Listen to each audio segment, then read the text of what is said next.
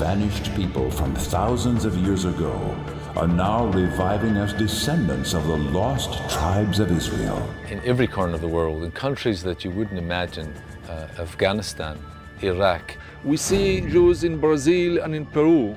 They came here from China. A prophesied drama with thousands of lives in danger. Do you think something bad can happen to the Jewish community in Iran? Yeah. Their rescue is now urgent, with many trapped deep inside hostile lands. Of a secret operation that is going into effect even as I speak. It's so sensitive that I, I can't talk about it. Their return to the land of Israel signals the beginning of the end of days, vision of the prophets. I tell you, the temple is soon to be rebuilt. Maybe tomorrow we shall awake and we shall see the great revolution. Thousands of years ago, actually in 722 before the Common Era, Assyria destroyed the Jewish people in Palestine, in Israel, and exiled 10 of the tribes of Israel to the four corners of the world. These 10 tribes soon became called the lost tribes because we have not been able to track what happened to them. So many years we looked after them. Where are they? 2,700 years ago, they were taken from here. They were lost. And suddenly we started to hear from the 10 tribes. It is not an accident when one day people hear the voice of God and they leave their countries from the far east, from the west, from the north, from the south. On Wings of Eagles is discovering the lost tribes of Israel. After thousands of years of being away from their brethren, we today bring them home to the land of Israel.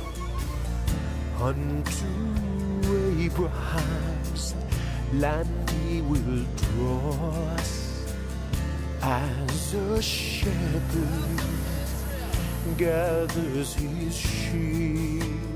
The job is just beginning for us. A whole new chapter is developing almost daily, almost uh, by the hour, we're finding Jews. That is a real miracle. That's God Himself is acting in this exciting and critical end times, not only in Israel but all over the world. He speaks to the hearts of Christians mainly and awake them to stand with Israel, to love His people. Every time I take one of these freedom flights with these immigrants and my heart soars in seeing the future of Israel here, my heart cries for those who are still left behind.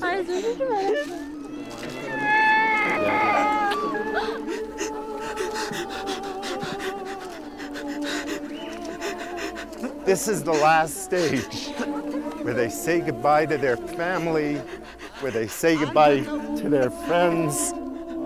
It's a very, very difficult scene to watch as they say goodbye.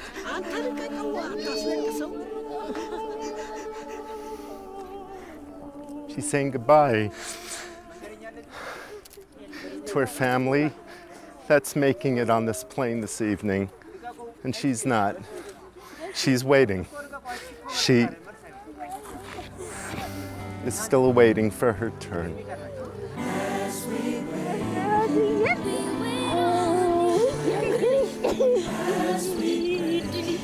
Many of them are hurting. Many of them today are in pain. You can make the difference. You can bring a miracle to their lives. The little bit that you can do or the great amount that you can do can profoundly make a difference. This ministry of the fellowship that we began with the fall of communism in 1990 has brought over 300,000 Jews from the former Soviet Union, what the Bible refers to as the land of the north, to Israel, from various Arab lands, and from different countries around the world. And this miracle and fulfillment of prophecy was made possible by Christians He says, In the last days I will bring back my people from the east, the west, the north, and the south. And in another passage, he says, Through the abundance of the Gentiles will the Jews be blessed in the last days. So it's not only a blessing, it's an honor and a privilege. Just as God blessed them when they were in Egypt and kept them, uh, He has sovereignly planted them back here in their homeland, and uh, He will not break His covenant with them. The tribes of Israel, lost thousands of years ago until the time of the Messiah, today they are being rediscovered and brought to the Holy Land. And you can be a part of that fulfillment of prophecy.